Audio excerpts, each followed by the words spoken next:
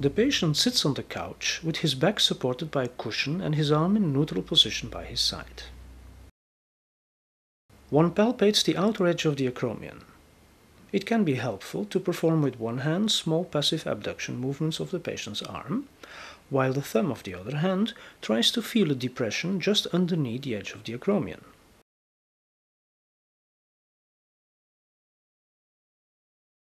The needle is inserted at the middle and just underneath this edge in a slightly upward direction. The first part of the fluid is now injected while one slowly withdraws the needle. The rest of the fluid is divided fan-wise over the entire bursa.